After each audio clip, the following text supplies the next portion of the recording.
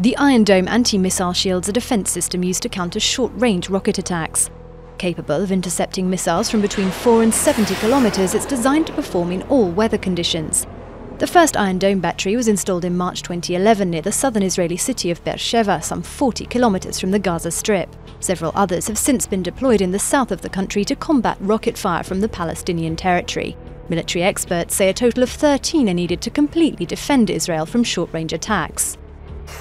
Enemy artillery fired from within the 70 kilometre radius is detected by the Iron Dome's mobile tracking radar. The missile type is identified, its path monitored, and the data sent to a weapon management and control unit which calculates the likely point of impact. If the missile's heading towards a populated or built up area, it decides to intercept. The incoming targets are detonated in mid flight and within a matter of seconds by the system's missile firing unit.